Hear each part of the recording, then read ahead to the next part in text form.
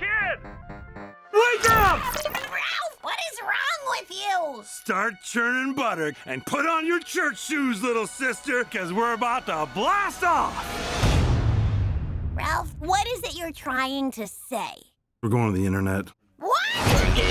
Make it, do it,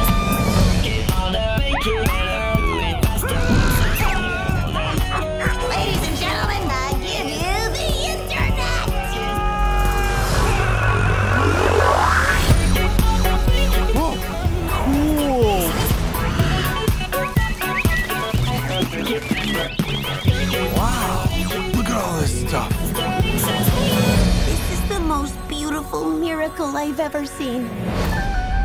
Welcome to the search bar. What can I help you find today? Um, Umbrella, umbrage, umami. No. Noah's Ark, no doubt. Nordstrom Rack. Ergonomics, Urban Outfitters, er cool. I'm pretty sure he's just trying to guess what you're gonna say. My autofill is a touch aggressive today. Let me try. Take me to a website that's super intense and really nuts.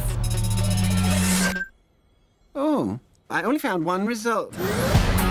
Oh, come on. Princesses cartoon characters barf. Hey. Whoa!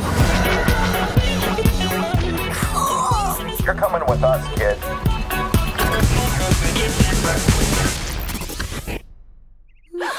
Hi.